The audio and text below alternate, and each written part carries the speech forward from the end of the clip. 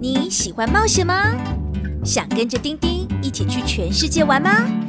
你可知道草泥马的故乡在哪里呢？丁丁要和双胞胎侦探兄弟达克船长、小狗白雪去看看童话故事的时空背景喽。从金字塔到冰雪世界的西藏，还要去非洲的阿尔及利亚体验沙漠，你还等什么呢？